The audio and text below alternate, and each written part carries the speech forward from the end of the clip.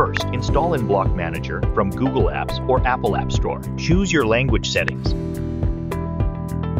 And please tap Allow for all access settings for easy use. Enter the email and password information of your LG installer account. If you have forgotten your login information for LG installer account, please tap Reset your password. After logging in, if there is a recently updated firmware available, a download pop-up will appear. Click the download button to update to the latest firmware version.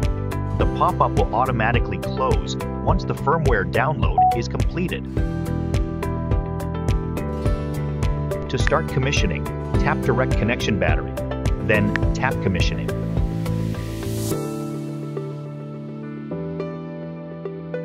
When the commissioning process begins, you can scan the QR code using the camera function on your mobile device to check the SN information. Refer to the illustration for the QR code location, which may vary depending on the product. If the QR scan does not work, click the pen-shaped icon in the top right corner to enter the SN information manually.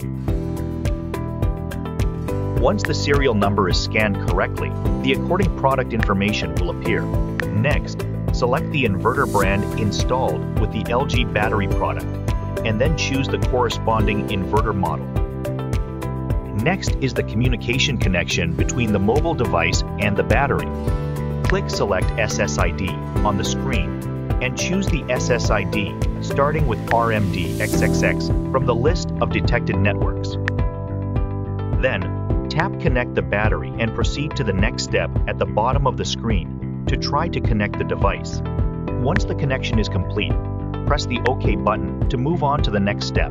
If the device connection is completed, you can check the battery's FW version. And if there is a newer version available, you can update it. Once the FW check and update are complete, proceed to the next step, which is the internet connection stage. Select local internet connection, Wi-Fi, and enter in the password. If you are using the LAN, Ethernet, DHCP, or static IP, type in all the configuration information currently. If you are installing battery units in parallel, check parallel to add the additional units and repeat the battery commissioning process one more time.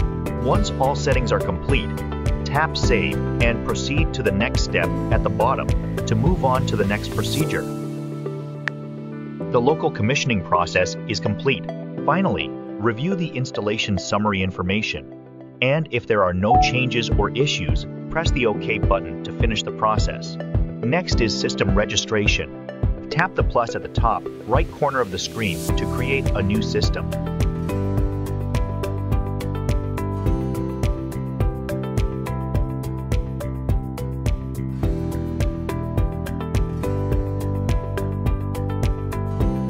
Please keep in mind that this process is mandatory for a guaranteed 10 years warranty. The first step is to enter the basic information.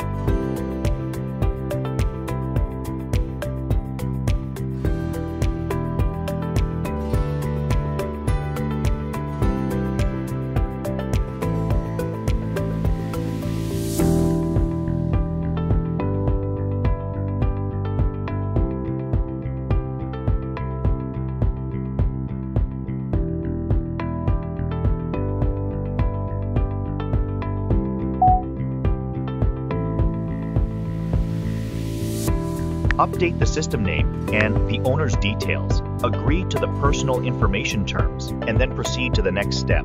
The second step is to enter the battery information. If you proceed with system registration, immediately after completing the commissioning process, the device information will be automatically uploaded. Finally, enter the installation environment information and take a photo of the installed product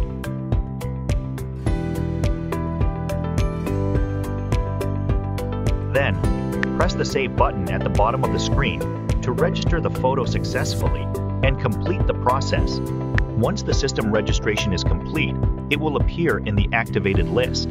By selecting the system from the list, You can easily check the product status and installation information remotely via Manager Cloud.